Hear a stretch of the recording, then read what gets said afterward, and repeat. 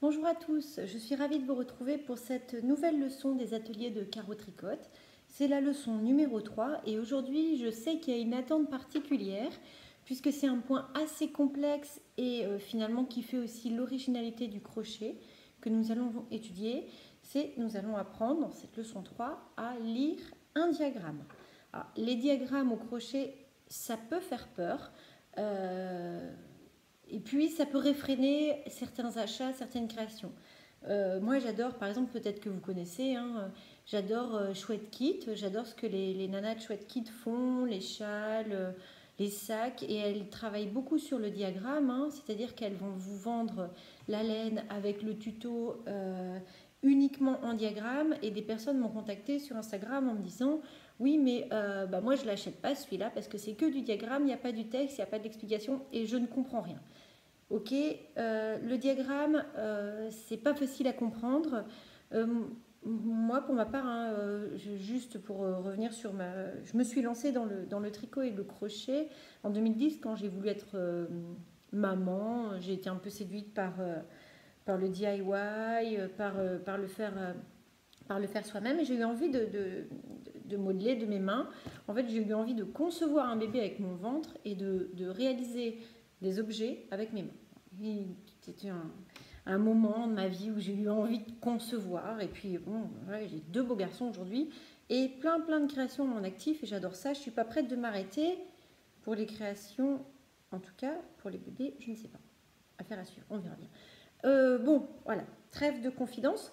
Euh, mais, disons que moi j'ai appris donc toute seule le, tricot et le crochet en regardant des vidéos sur YouTube hein, principalement parfois même des vidéos étrangères, juste en regardant les doigts. Et le, diagramme, c'est une amie qui m'a appris, et qui m'a appris vraiment par la main, comme si on apprenait à lire à quelqu'un, puisque c'est pas, pas évident en fait. Hein. il faut quand même qu'on nous explique le sens de lecture, tout ça.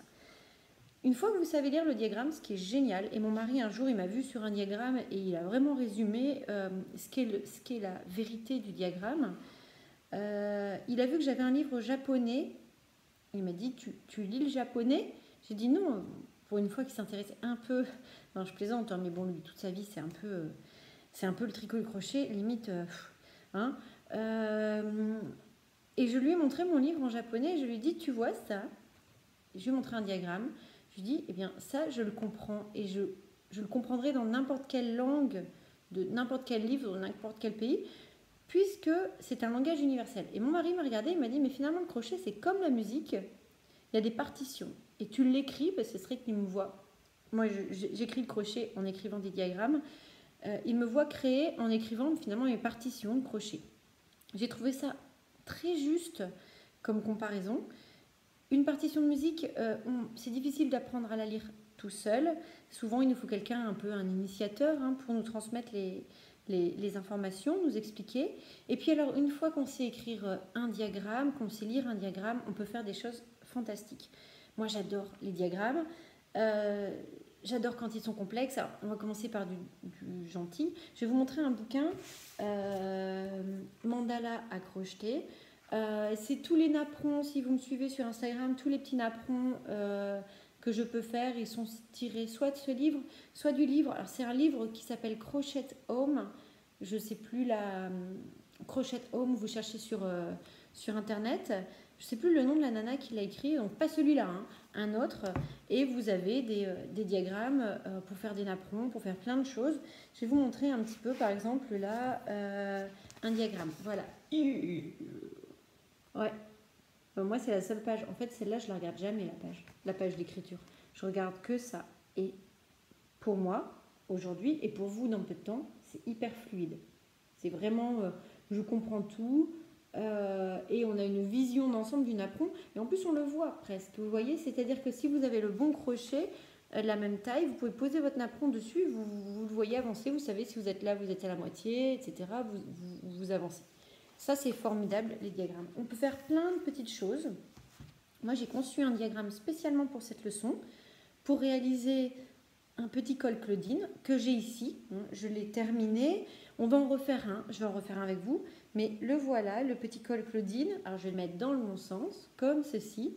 Hein. Euh, les petits cols Claudine, j'adore ça. J'adore les coudre sur, euh, sur des tops en hiver. J'adore en faire euh, juste pour le plaisir de les faire. Je trouve ça joli. Je trouve que rien que visuellement, c'est joli, toute, cette petite, cette petite dentelle. Celui-là, il finira sur un petit top noir, je pense, pour l'hiver. Hein. Après, on peut les faire de toutes les couleurs, avec du fil paillette. On peut même terminer avec une, bande de lurex. Ça fait super joli. voilà le petit col Claudine qu'on va faire ensemble. Et moi, je vous ai fait le diagramme du col Claudine. Alors, le diagramme du col Claudine, je l'ai un petit peu réduit. Vous trouverez le, tuto du col Claudine sur le blog.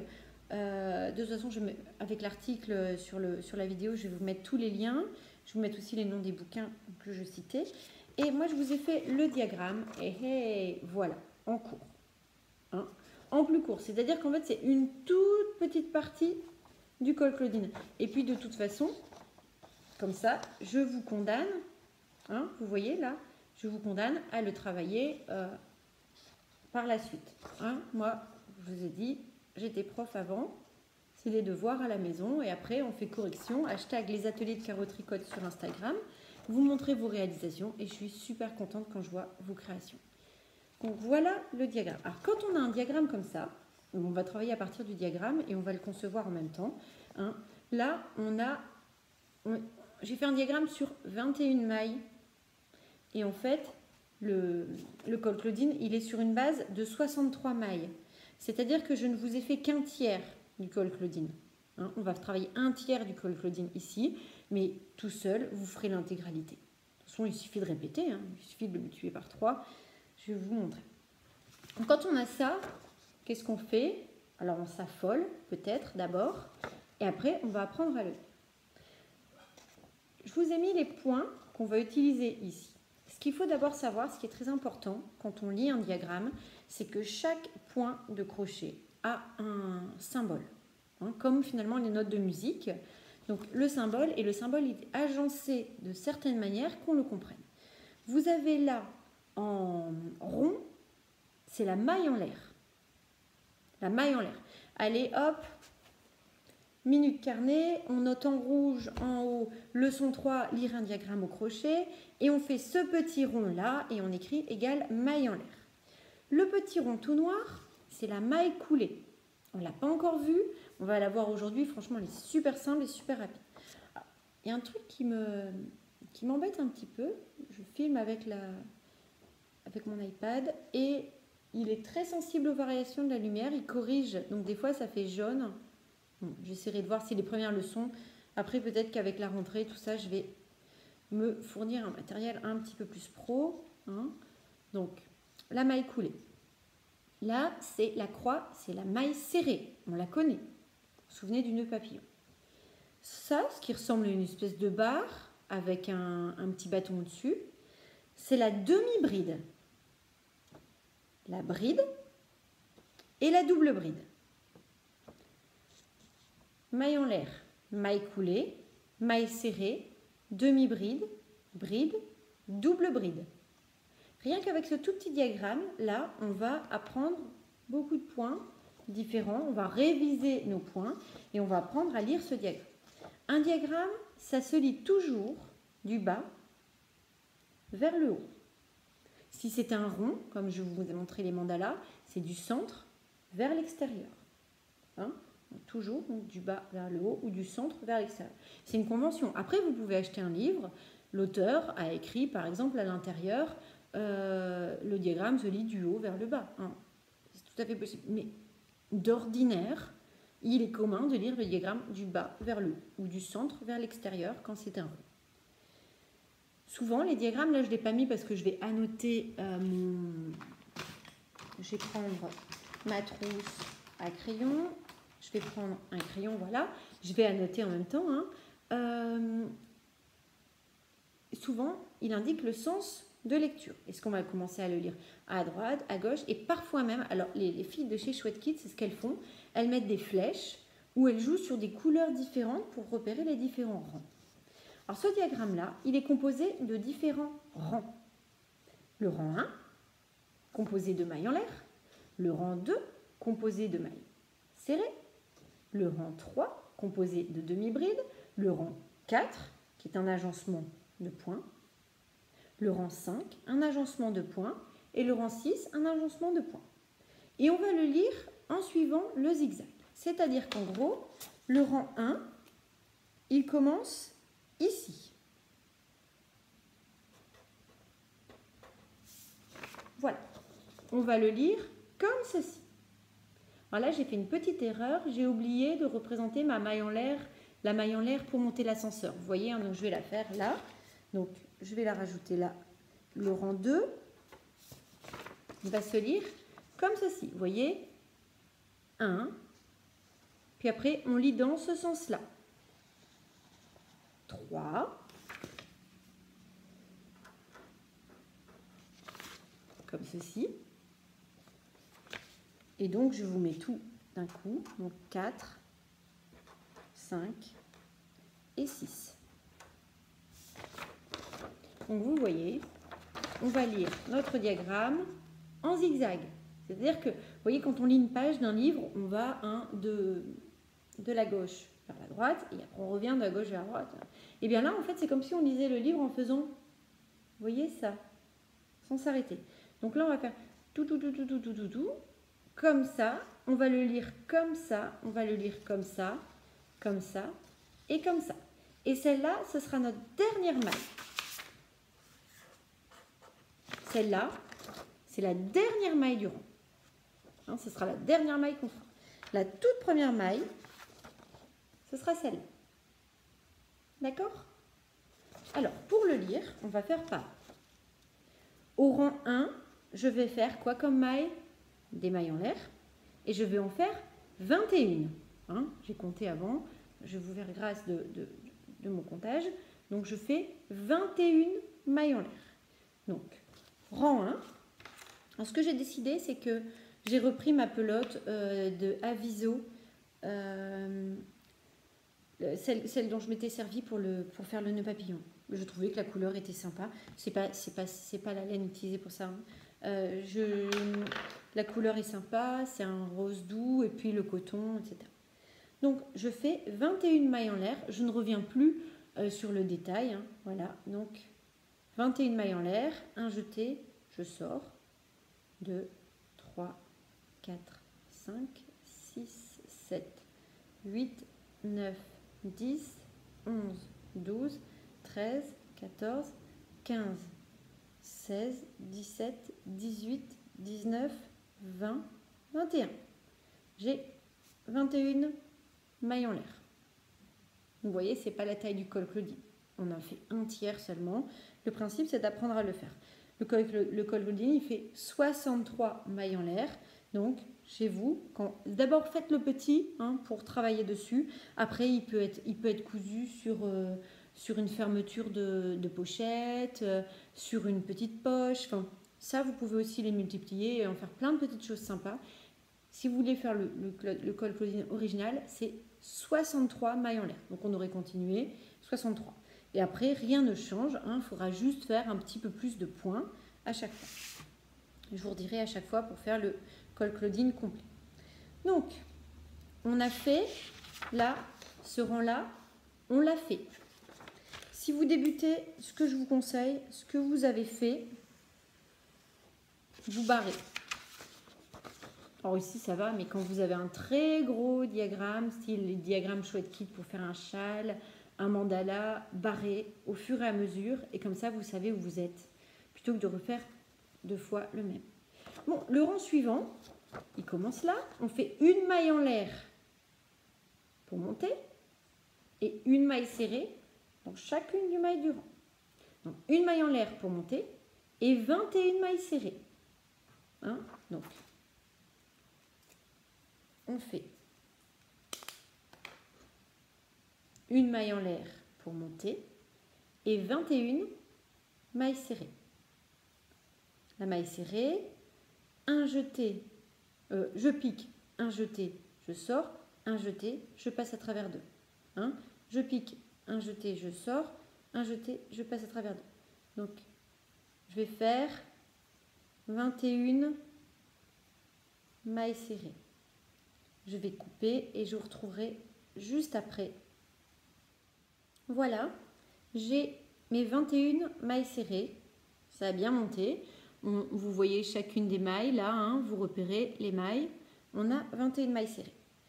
Je pose mon travail, je sors ma feuille, je sors mon diagramme.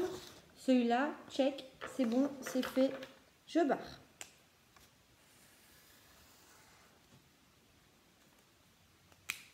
Le rang suivant, il commence là.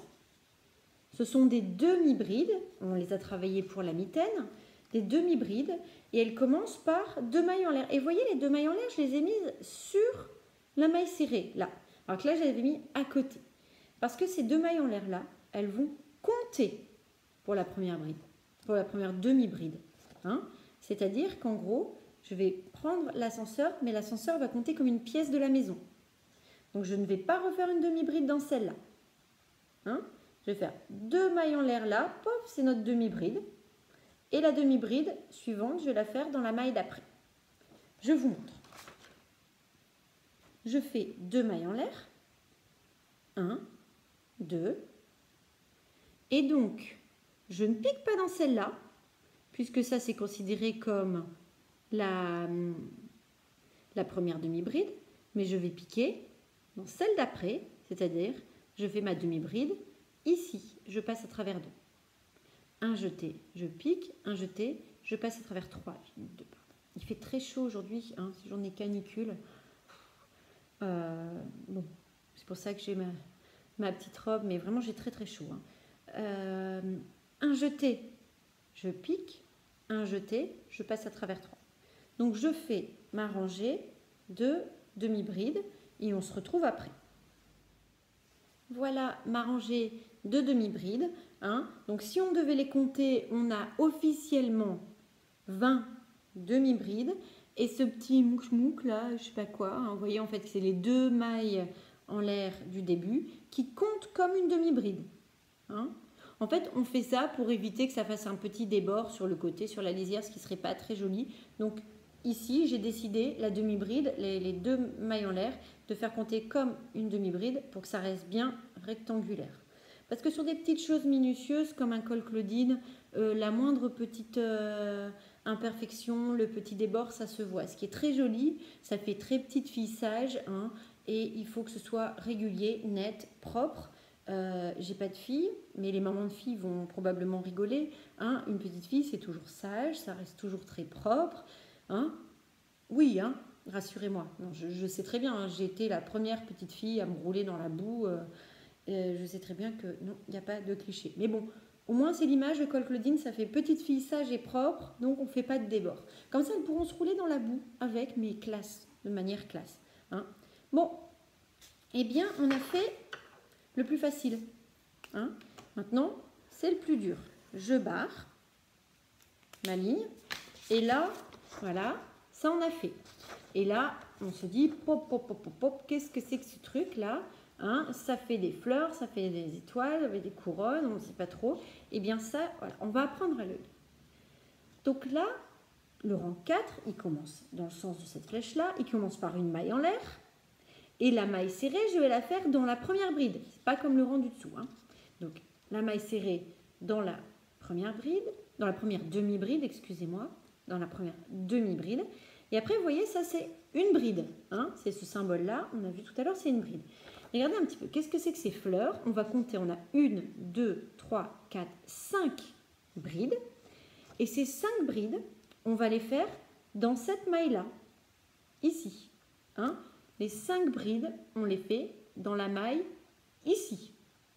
Et donc celle-là, eh ben on fait rien, on la laisse tranquille. Donc on va faire une maille en l'air, une maille serrée tout de suite là, dans celle-là. Celle-là, on la laisse tranquille, on la passe. Hein.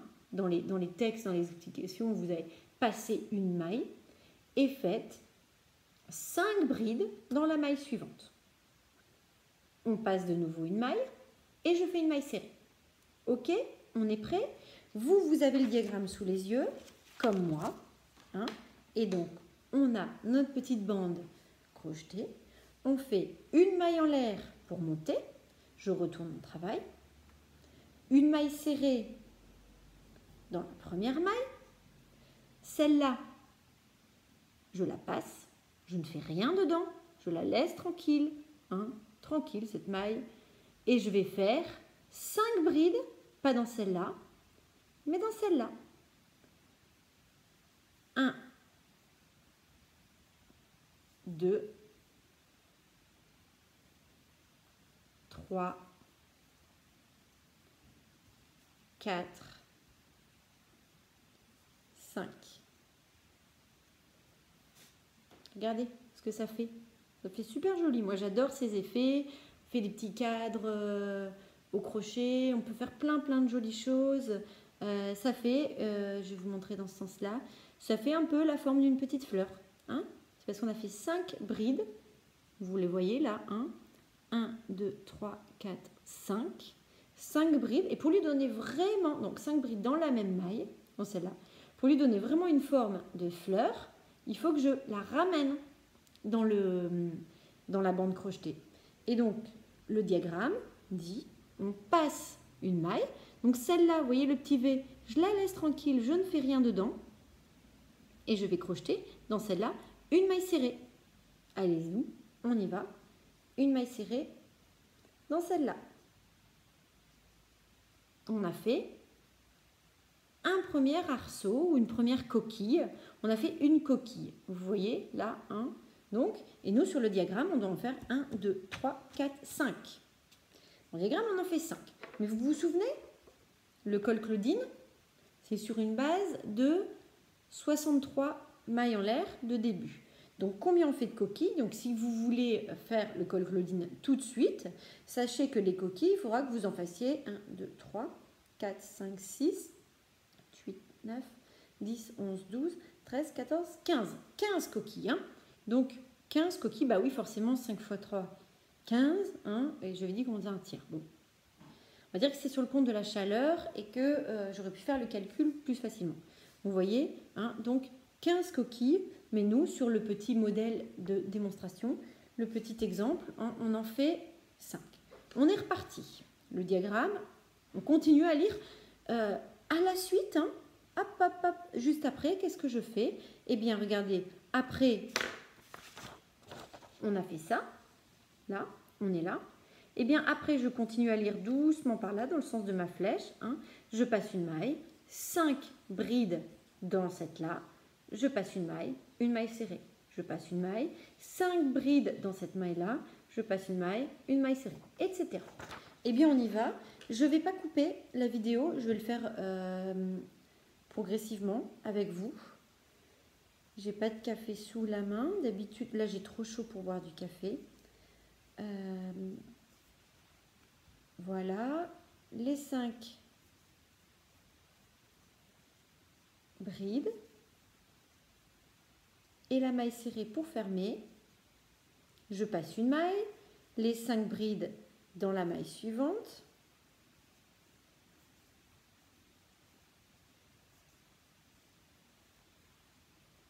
Comptez bien. Sur un col flooding, il y a moins de chances de faire un slip. Hein. Je sais que ça vous a fait rire euh, l'expression que j'ai vue sur Instagram. Ça me fait plaisir. Vraiment, je vous dis, ça me fait plaisir les, les retours euh, les messages que vous m'envoyez, euh, les photos, vous montrez votre travail, ça, me fait vraiment plaisir de voir que vous avez appris. J'ai cette passion-là, le crochet, le tricot, et ce que j'aime, c'est partager, c'est apprendre aux, autres. En fait, euh, ça me fait tellement de bien de faire ça, et je me dis, bah, il faut que les autres découvrent ce bien, ce bien-être-là, comment c'est agréable de faire ça. Voilà, on arrive en bout de rang. Donc, et vous vous souvenez, là c'est pour ça que j'ai voulu rester avec vous jusqu'au bout du rang. Vous vous souvenez, le rang d'en dessous, on avait fait une, euh, une demi-bride. En fait, c'était pas vraiment une demi-bride, c'était deux, mailles en l'air comptaient comme une demi-bride. Qu'on les retrouve là, vous voyez. Donc là, on peut avoir envie de se dire, bah oui, mais euh, on pique où? On pique dans le trou. Hein. Donc en fait, nous on est là. Regardez, vous voyez, on doit faire une maille serrée là, mais on pique dans quoi exactement? Eh bien on pique là où on peut piquer, hein, dans le trou, le premier trou qu'on voit. On va, on va piquer là pour faire la maille serrée. Hop, voilà, je fais ma maille serrée. Et vous avez déjà, et déjà comme ça, c'est joli. Limite, on peut imaginer, euh, vous êtes euh, maman, euh, vous avez une fille, vous faites le petit, le petit modèle pour votre fille et le grand modèle pour vous. Et vous sortez un peu avec le petit, le petit clin d'œil l'une l'autre. Hein. C'est marrant de faire ce genre de petit clin d'œil à, un mariage, à, une fête où on, identifie tout, de suite la maman et son enfant. C'est sympa, je trouve. Donc, vous voyez, déjà, rien que comme ça, il est sympa. On va le continuer. On a fini là, on a fini le rang 4 et on a fait plus de la moitié. Hein? À la fin, bois un café bien chaud. Hein? Ils annoncent 34 degrés. Là, j'ai baissé les volets un peu plus. Et je suis à Lille. Donc, je pense à vous si vous êtes dans le sud. Euh, il fait très très chaud. Mais bon, on va en profiter quand même assez agréable aussi. Demain, c'est orage et pluie toute la fin de semaine. Bon, rang 4, il est fini. Pam, pam, pam, pam, pam, pam. Le rang 5 qui commence là, la flèche. On va faire 1, 2, 3. Vous avez vu? 1, 2, 3 mailles en l'air pour monter l'ascenseur. Après, on fera deux mailles en l'air. Pam, pam. Je vais faire une maille serrée. Alors là, hein, elle vole. Oui, peut-être que mon diagramme, je l'ai volontairement écarté. Dans les livres, vous imaginez un peu, les maisons d'édition ne feraient jamais des aussi gros diagrammes. Euh, il faut aussi rentabiliser un peu les pages. Hein.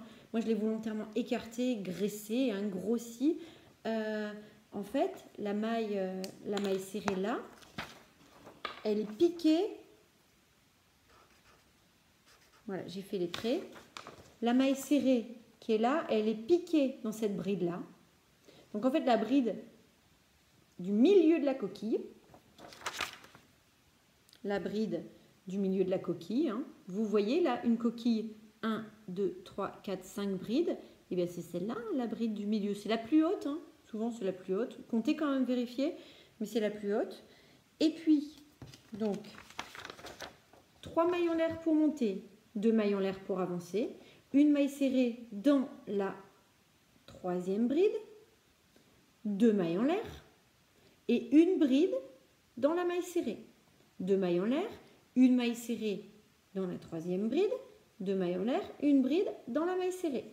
Pam, pam, et on avance sagement jusqu'au bout. On va le faire ensemble. Hein. Ce que j'aime dans les diagrammes, c'est la concentration. Celui-là, il est assez facile. Pour, vous, les débutants, euh, vous allez déjà être très concentrés. Mais ce que j'adore, c'est les diagrammes de folie où euh, je me pose avec mon fil et je regarde, ça avance tout doucement, on voit le travail avancer, euh, on, voit, on voit le travail se dessiner, j'adore faire ça. Donc, trois mailles en l'air pour monter. 1, 2, 3. Je retourne. Deux mailles en l'air. Je vais refaire parce que j'ai mal passé un fil. Donc, 1, 2, 3. Je retourne. Deux mailles en l'air pour avancer. Une maille serrée dans la troisième bride, celle du milieu, une, deux mailles en l'air, et dans celle-là, la maille serrée du rang précédent, une bride. Paf, une bride.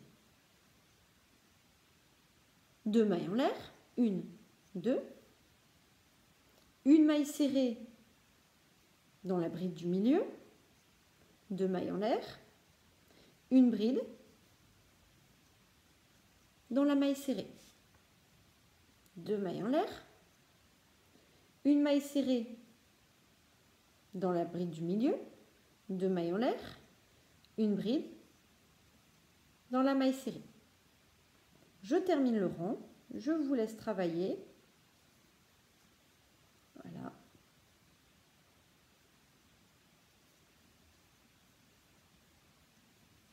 Comme ceci. Et on termine avec une bride. Voilà. Même comme ça, il est joli. Il dirait un peu plus une couronne. À la rigueur, vous le faites plus long, vous tournez, vous avez une couronne pour l'épiphanie.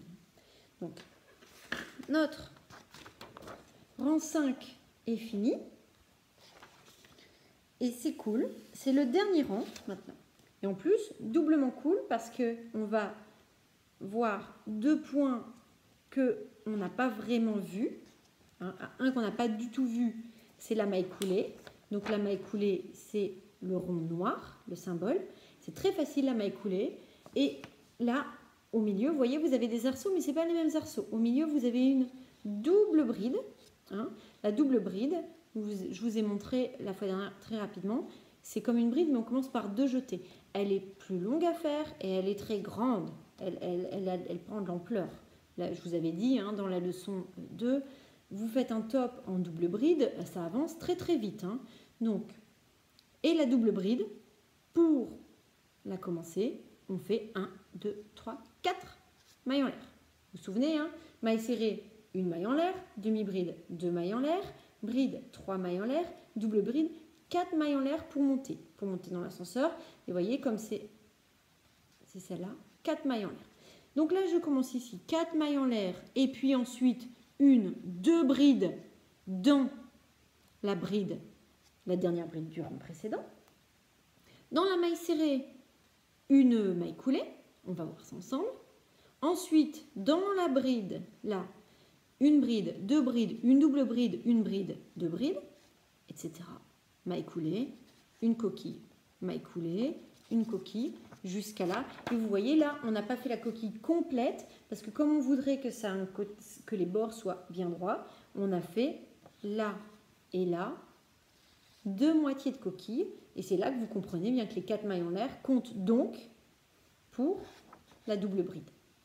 D'accord? J'en fais pas une deuxième, sinon ça va un petit peu dévier le col Claudine qui ne sera pas droit et avec un tombé très net. On y va, c'est le dernier rang. À la fin, franchement, quand on va l'arborer et surtout alors quand on va aller le coudre sur un petit top, prenez un petit top basique, un petit bateau, euh, vous faites un, une couture main hein, pour celles qui n'ont pas de machine à coudre, vous le cousez, ça fait toute la tenue. Mais vraiment, euh, alors après, attention, attention, moi j'ai fait une bêtise comme ça, c'était au début, quand on est jeune et débutant, qu'on ne réfléchit pas, qu'on s'enflamme, etc. Non, mais j'ai fait une bêtise, c'est que je me suis fait un joli petit col Claudine, euh, dans un coton, je ne sais plus lequel, ou dans une laine, je ne sais plus trop quoi. Et après, j'ai lavé mon top, je l'ai passé en machine, et je crois même qu'il a fait un tour en sèche-linge. Et le top était propre, nickel, super beau, et le col Claudine, euh, il n'avait pas survécu. Hein. Donc faites gaffe, surveillez la qualité du coton ou de la laine que vous utilisez et regardez bien en fait euh, son passage en, machine. Sinon, après, vous allez faire des milliards de col Claudine. Surtout si vous vous imaginez sur un body de bébé, euh, vous imaginez bien que votre col Claudine, va se prendre des régurgitations. Hein, pour les futures mamans, régurgitation, c'est un mot qui nous fait toutes flipper. Hein. Ah, il régurgite. Puis souvent, c'est quand on le met dans les bras de, la belle-mère, euh, de la collègue de travail. Tiens, je te filme mon bébé deux secondes et puis hop, on nous le rend là. Tiens, regarde, il régurgite. Bon, bah souvent les bébés, ils régurgitent hein, leur trop plein de lait ou à toute heure. Ah, c'est toujours aussi au moment où on s'en va. On est prêt, on a chargé la voiture, il est habillé, il est beau, on part à une fête et je plaf, il va régurgiter et il y en aura partout, etc. Dites-vous que si c'est pour un body de bébé, enfin en tout cas si c'est pour un petit qui boit encore exclusivement, quasi exclusivement du lait, en gros en dessous de, en dessous de 7, 7, 8 mois, choisissez un coton qui passe en machine. Sinon, alors là, si vous faites un col Claudine en angora, après, on peut être sadi, on peut être sadomaso hein, si vous voulez faire des machines et recommencer des travaux tout le temps. Allez, on attaque notre dernier rang. Non, mais c'est vrai, quand vous faites du vestimentaire, regardez quand même les conditions de lavage. Surtout quand c'est de la, customisation. On oublie souvent en fait de regarder comment, euh, qui permet de customiser passe en machine ou pas. Dans les strass qui se décollent. Allez, 4 mailles en l'air, 2 brides, une maille serrée, une maille coulée. On y va. 1, 2, 3, 4 mailles en l'air. Je retourne le travail et les deux brides, je vais les faire dans ma dernière bride, donc ici, hein, dans la même maille. Une bride, deux brides. La maille coulée, je la fais dans la maille serrée. La maille serrée, elle est là. La maille coulée, c'est la plus simple des mailles. C'est un jeté, euh, c'est un jeté, c'est je pique, un jeté, je sors, je sors. vous notez dans le petit carnet, pam pam, maille coulée, égale, je pique, un jeté, je sors, je sors. Je pique, un jeté, je sors à travers toutes les boucles. C'est le point le plus court. En fait, c'est le point qui n'a aucune amplitude. Si vous faites une maille coulée, votre travail ne monte pas. Ça permet justement de faire d'insister sur le joli arrondi d'un col Claudine. La maille coulée, elle va faire que oh, ça va être écrasé au plus bas, au plus proche de la, au plus proche du rang précédent. Dans ma bride, ici, toute seule, je fais deux brides. Une, deux, toujours dans la même maille, hein. toujours dans cette même maille-là. Là, je fais la double bride, donc deux jetés, un, deux jetés. Je pique, un jeté, je sors, un jeté, je passe à travers deux, un jeté, je passe à travers deux, un jeté, je passe à travers deux. Vous avez vu comme elle est grande par rapport aux autres hein? Presque un centimètre et demi. C'est de la, c'est de la papa bride, hein c'est de la papa de la double bride. Euh, donc là, vous voyez, on a trois. On doit encore faire dans cette maille là. Donc en gros, quand on tire celle qui s'écarte, hein, on doit encore faire deux brides. Un, deux. La maille serrée maintenant la, maille coulée, dans la maille serrée ici. Je pique, un jeté, je sors à travers la boucle, je sors à travers la boucle. OK? Et maintenant, dans celle-là, deux brides, une bride, deux brides, minute carnet, hein, pour noter la double bride. Donc, la double bride égale un jeté, un jeté. Vous pouvez noter deux jetés. Je pique. Un jeté, je sors. Un jeté, je passe à travers deux. Un jeté, je passe à travers deux. Un jeté, je passe à travers deux. OK? Et ensuite, je fais une, deux brides. Je termine le rang par la maille coulée, hop, un nouvel arceau, une nouvelle coquille, double bride, le jeter,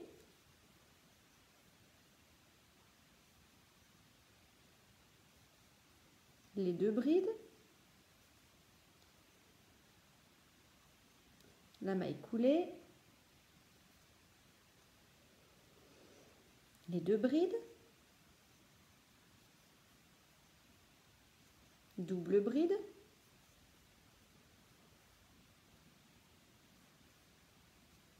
les deux brides,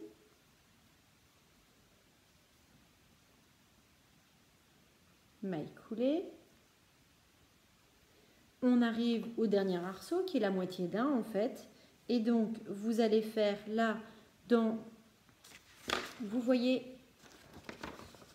la, l'arceau, alors vous allez dire, ah bah oui, mais c'est quoi ce truc là On pique dans quoi? Ben, Je vous ai dit, vous piquez dans le trou qui est disponible ici. Hein. Ah bah, ça, voilà. Piquez là.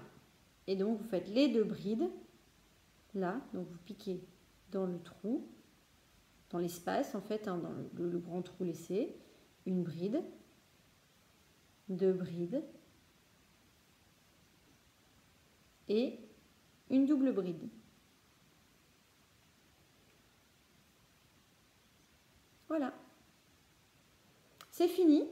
moi, quand je finis un travail, j'écarte le... Oh, j'ai pas, pas mes ciseaux à côté de moi. Oh, zut alors. Bon, c'est pas grave. J'écarte le, j'écarte le fil, hein, et puis je coupe et je fais passer... Je vais faire passer la pelote, là, cette fois-ci. Je coupe le fil et je fais passer le fil coupé dans la boucle. Je serre, ça ne se défrappe.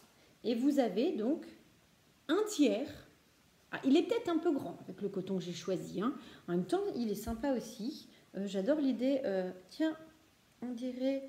je vais le faire blanc et puis euh, ça va ressembler à, ces déguisements de, soubrette, vous voyez, ou de, d'infirmière rétro un peu. Hein, non, non, je m'égare dans des choses qui sont pas, hein, pas dissibles devant les plus jeunes. Vous voyez ces espèces de déguisements de soubrette là hein Ou alors une couronne de princesse pour une petite fille par exemple. Hein Ou les mamans, vous pouvez faire une soubrette. Je plaisante. Bon, voilà. Il est un peu, c'est un peu grand, ok, le aviso c'est un peu grand. Je voulais vraiment travailler sur quelque chose de, de gros pour que vous voyez bien. Euh, ça peut être utilisé à plein de choses. Non, vraiment l'idée de la couronne c'est sympa. Euh, ça peut être une petite robe et puis euh, et ça, ça cousu, vous voyez sur le dessus même de ma robe, c'est sympa. Vous finissez avec un rang de mailles serrées dans chacune des mailles en lurex par exemple, hein, un fil brillant, c'est très joli. Et surtout, donc si vous voulez le col Claudine en entier, vous le faites en fait, mais vous prolongez sur 63 mailles hein, en l'air et non 21. C'est-à-dire que vous allez faire beaucoup plus d'arceaux. D'accord? Hein C'est comme si en gros, là, au milieu, il y avait une, euh, césure, une coupure, et puis en fait, vous allez l'écarter là. N'allez pas additionner, enfin un, là, je, sais que vous n'êtes pas bête, hein, mais imaginez le plus bête, dans le plus bête des cas de figure, en faire un, puis un autre, puis un autre, puis un autre. Bah non, parce que sur les côtés, vous voyez, c'est les côtés propres. Euh, il faut que l'augmentation, elle vienne du milieu. Donc c'est, au lieu de faire, là, au lieu de faire 21 mailles serrées, vous allez faire 23 mailles serrées, 63 euh, mailles serrées sur 63 mailles en l'air, 63 euh, de demi-bride, et puis donc vous aurez beaucoup plus d'arceaux à faire. Hein. Et comme ça, vous êtes obligé de travailler, de continuer. Et puis vous pouvez aussi continuer à faire euh, ces petites choses-là, courtes, euh, qu'on peut utiliser euh, de, plein de manières. même les manières qu'on n'aurait pas soupçonnées. Hein. Je vous ai filé une idée. on ne sait jamais, c'est pas bientôt la Saint-Valentin, mais non, je, rigole. Hein. voilà, la couronne, la princesse, la petite robe à smock, et puis sinon le vrai col Claudine. Voilà cette vidéo est terminée, cette leçon est terminée. Euh, j'ai rien de plus à ajouter, j'essaye de réfléchir. Euh, n'allez pas tout de suite acheter euh, genre ceci, puisque nous n'avons pas encore vu travailler en rond. Et les mandalas, c'est principalement un travail de crochet en rond. ce qu'on fera plus tard, je vous ai dit, ces leçons, on revoit toutes les bases progressivement. Hein, Ils sont jolis ces, mandalas. J'aurais peut-être pas fait ce choix de couleur que je trouve. Euh, moi j'aime bien quand c'est un peu plus euh, un peu plus punchy, un peu plus rock'n'roll. Mais euh, sinon, les mandalas sont très jolis. Regardez moi ce truc là, j'adore. Ça pourrait faire un super joli coussin. Ils ont appelé ça bouclette d'amour. Bon, euh, donc voilà, euh, vous avez le, la petite fiche explicative que je vous ai mise en, PDF téléchargeable avec l'article qui va avec la vidéo sur mon blog. Toujours euh, comme d'habitude, les ateliers de carreau tricote sur Instagram pour que je vois vos créations, vos questions aussi, vos remarques. J'ai eu notamment un message me disant que la qualité du son n'était pas c'était peut-être la première vidéo. La, première vidéo, je l'ai faite pendant que les enfants étaient à la sieste et j'avais peur de parler haut. Bon, là, je l'ai fait quand les enfants sont pas là. Donc, euh, est-ce qu'il y a un mieux? Je vais essayer de régler un peu la lumière, tout ça. Euh, toutes vos remarques, vos suggestions. Si vous avez des points que vous voulez vraiment qu'on aborde, euh, Caro, est-ce qu'on peut voir avec toi telle chose? Je ne sais pas faire ça. vous avez acheté un, livre, un tuto, vous comprenez pas. Alors évidemment, je ne vais pas reprendre parce que il y, a les droits d'auteur, mais je vais, vous donner des, pistes. Je ne vais pas expliquer en ligne tout le, tout tuto, hein, mais je vais vous donner des pistes. Je suis là pour, euh, bah, pour vous faire découvrir ou approfondir le crochet, prendre du plaisir. Euh, voilà. Donc euh, c'est fini pour cette leçon. Je vous remercie. la prochaine leçon, je, je pense que ce sera notre dernière leçon où nous allons travailler en rang. Et après, nous aborderons le rond. Mais nous allons voir toutes les petites choses qu'on n'a pas vues. Euh, euh, ça sera un petit peu la, leçon des petites choses. Comment on change de couleur. Euh, j'ai noté, j'ai déjà la trame du cours qui est, qui est élaborée. voilà, donc encore une dernière leçon avant de faire du rond et des corbeilles. Allez, je vous souhaite une très belle journée, euh, chaudement. Euh, demain, ce sera fini la chaleur. Mais ici, en tout cas, il fait bon. Moi, je vais retourner bosser. J'ai profité de la pause déjeuner. Et voilà, je vous souhaite une très bonne journée. À très bientôt. Au revoir.